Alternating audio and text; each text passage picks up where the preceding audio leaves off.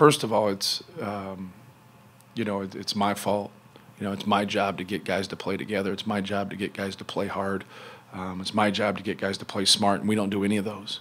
And so that is my fault. And so when you start off, you know, people will always give you a break, but when it's you're somewhere for nine years, they shouldn't.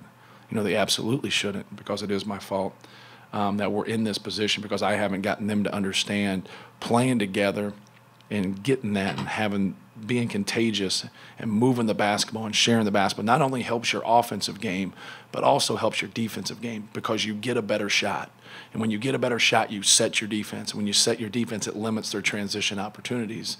And it makes it for healthy basketball. I don't sometimes it's hard to really explain. It's really fun to coach when guys will do that.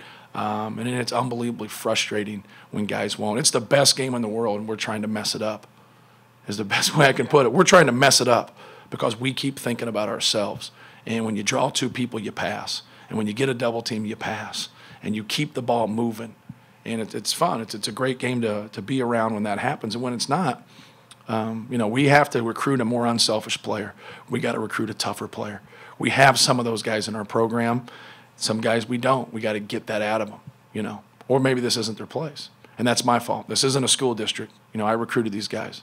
So the position that we're in, it's my fault.